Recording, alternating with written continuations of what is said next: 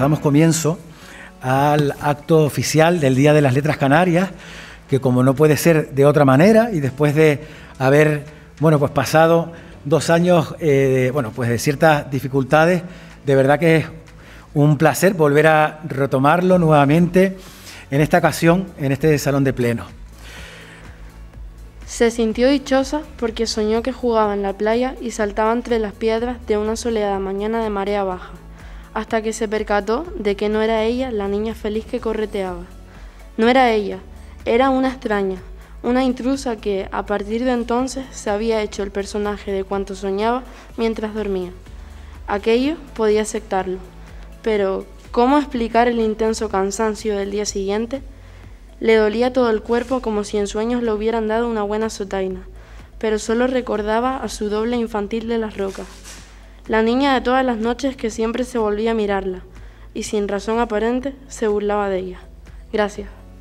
En este día tan importante, hemos decidido, leer un fragmento de la única novela de José de Viera y Clavijo, Vida del noticioso Jorge Sargo. Concretamente pertenece al capítulo 8. Saliendo Jorge de la Orotava, encuentra en el camino Perdigón, Pensamos que con este texto no solo conmemoraremos el Día de las Letras Canarias y al insigne humanistas, sino que también no olvidamos nuestra historia, orígenes y cómo se formó este pueblo, los Ralejos.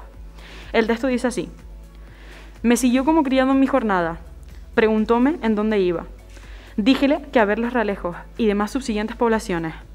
Él era diestro y vivísimo. Me dijo, Vuestra merced, ¿sabe por qué se llama los Ralejos? Yo la verdad le dije que no sabía, pues para pasar el camino siempre es muy bueno conversar, que ayuda mucho, y así le diré lo que de ello sé. Después de haber sido con bastantes fatigas y mortandades combatida toda la isla de Tenerife, hasta aquel puesto por don Alonso Fernández de Lugo, general del ejército conquistador, casi milagrosamente por ser este su ejército, corto, respecto de la muchedumbre de guanches. Más valióse la victoria el haberles entrado, entrado a los guanches un género de modorra, que como peste en bandos morían. Muchos años pasaron hasta que pasada la innumerable matanza que de parte a parte hubo, donde hoy la llaman la matanza, consiguieron y cantaron la victoria, en donde hoy está el lugar de la victoria. Anduvieron los ejércitos hasta el ralejo de arriba, en donde sentaron su real y bandera de Santiago, quedando el ejército de guanches en donde hoy se halla el ralejo de abajo.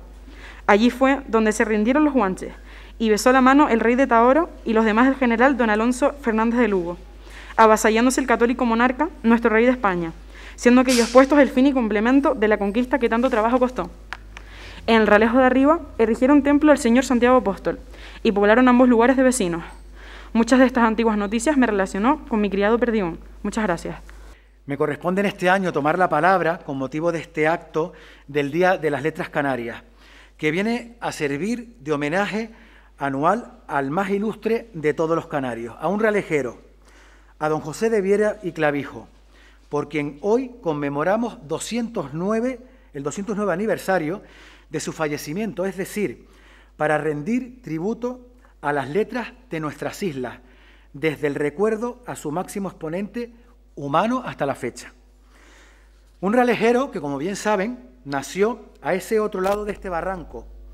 Un relejero que da nombre a la plaza en nuestro municipio y a nuestra biblioteca. Un relejero realejero representado a través del busto que, como todos bien eh, sabemos, está en la plaza denominada de la Unión, rodeado de, rodeado de flores. Precisamente él, cultivador de tantas disciplinas y de tantos textos, pero un enamorado no solo de las letras, sino de la ciencia, como la biología en general o la botánica en particular.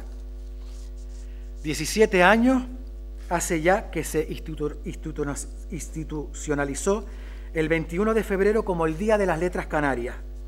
Y desde entonces cada edición se ha ido dedicando a su memoria y también a la de un autor o autora destacados en las islas.